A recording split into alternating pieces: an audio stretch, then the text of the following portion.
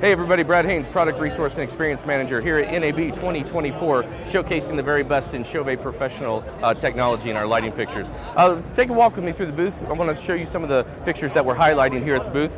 First and foremost, we do have a few new ranges in our Maverick range. This is our new Maverick Silens 1X profile. We also do have a 2X profile as well. Moving on to some of the other fixtures in the range, this is the Ovation Rêve F3 IP uh, Fresnel as well as we do have uh, uh, in our Ovation line our E2FC ellipsoidal. All of these work great in broadcast type of uh, lighting situations or any applications, and we're really showcasing how all of that can work together. Now I'll show you some of the elements, speaking of that working together, that are in the rig. Um, right outside of here, we do have a full proscenium of our new uh, REM 3 IP video panels, which really showcases how they can output and really cut through and are, look great on camera. As well as you walk into here, you'll see so some of the different elements we have for our aerialist act, as well as just ambient lighting.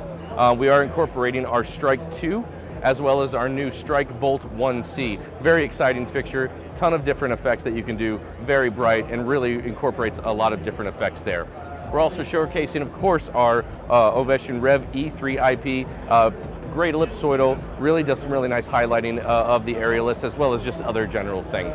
As we walk into the rest of the rig to see how all of this works together, we do have some different Maverick fixtures in the, the, the range. Uh, we do have the Maverick Storm 2 beam wash, uh, which you see up there, does really nice dynamic effects, general ambient lighting, as well as we are incorporating our Silens fixture uh, as well, our Maverick Silens fixture.